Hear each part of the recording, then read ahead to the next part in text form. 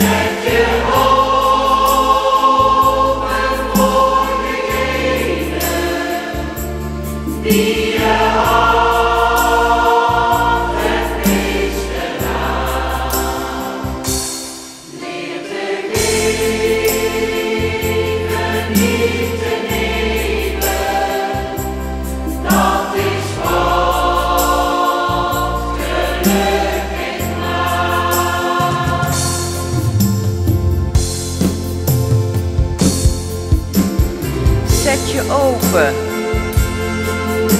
voor degene die je hart het meeste raakt. Leer te geven,